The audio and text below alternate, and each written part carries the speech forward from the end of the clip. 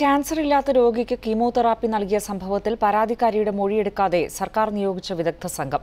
തന്റെ മൊഴിയെടുക്കാതെ കുറ്റക്കാരായ ഡോക്ടർമാരെ രക്ഷിക്കാനുള്ള നീക്കമാണോ നടക്കുന്നതെന്ന് സംശയിക്കുന്നതായി പരാതിക്കാരിയായ രജനി ഏഷ്യാനെറ്റ് ന്യൂസിനോട് പറഞ്ഞു. എന്നാൽ പരാതിക്കാരിയുടെ മൊഴി രേഖപ്പെടുത്തിയ ശേഷം മാത്രമേ മെഡിക്കൽ വിദ്യാഭ്യാസ ഡയറക്ടർക്ക് റിപ്പോർട്ട് സമർപ്പിക്കൂവെന്ന് അന്വേഷണ സംഘം വ്യക്തമാക്കി.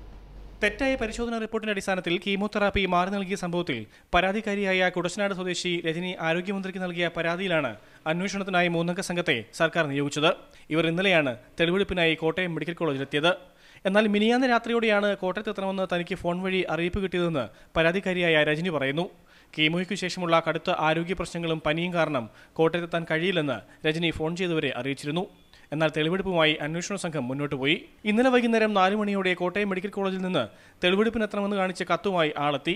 കത്ത് കൈപ്പറ്റിയതായി എഴുതി വാങ്ങി അവരും തിരികെ പോയി. എനിക്ക് സുഖമില്ലെന്ന് പറഞ്ഞപ്പോഴും ഒരു അന്വേഷണ സംഘത്തിൽപ്പെട്ടവരാണെങ്കിൽ നമ്മളുമായിട്ട് നമ്മളോടൊന്ന് കോണ്ടാക്റ്റ് എങ്കിലും ചെയ്യണ്ടേ?